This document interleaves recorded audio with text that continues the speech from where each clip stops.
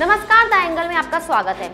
प्रदेश सरकार की ओर से तमाम इंतज़ाम किए जाने के बाद भी प्रदेश में कोरोना महामारी पर लगाम लगा पाना मुश्किल होता जा रहा है। इस महामारी के कारण प्रदेश में एक भी मौत ना हो सरकार के लिए ये सबसे बड़ी चुनौती है। ऐसे में सूबे के मुखिया अशोक गहलोत ने और सख्ती अपनाते हुए अब आठ की बजाय तेरह जिलों में नाइट कर्फ्यू लगाने के आदेश जारी कर दिए हैं। प्रदेश में कोरोना संक्रमण की बढ़ती रफ्तार के मद्देनजर प्रदेश सरकार ने गंभीरता दिखाते हुए तमाम ज़रूरी कदम उठाए। यहाँ तक कि जब विशेषज्ञों ने इस महामारी को रोकने के लिए मास्क पहनना अनिवार्य करने की सलाह दी तो विधानसभा में विधेयक भी पास करवाया गया। उम्मीद थी कि इससे प्रदेश में कोरोना की रफ्तार कुछ हद तक ज़रूर रुकेगी, लेकिन इसके बावजूद मामले बढ़ते रहे। ऐसे में अब मुख्यमंत्री ने जीवन और आजीविका दोनों बचाने के फॉर्मूले पर काम करते हुए प्रदेश के तेरह जिलों में रात आठ बजे से सुबह छह बजे तक कर्फ्यू लगाए जाने के आदेश जारी कर दिए हैं।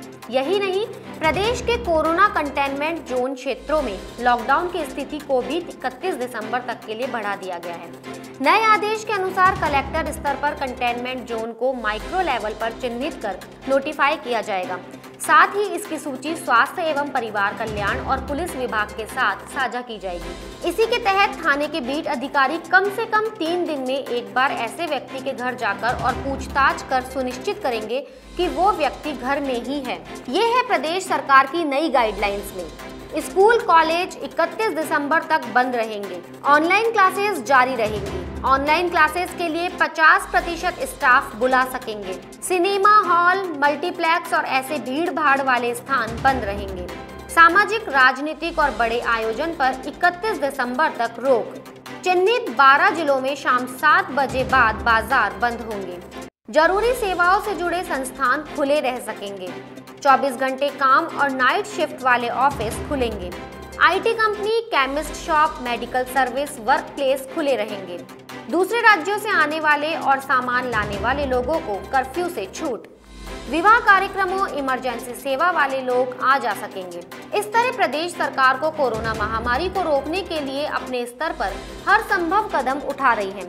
हाल ही में सरकार ने निजी अस्पतालों को चिकित्सा लैब में कोरोना की आरटीपीसीआर जाँच करवाने की दर भी बारह सौ रुपए से घटाकर अधिकतम आठ सौ रुपए निर्धारित कर दी है।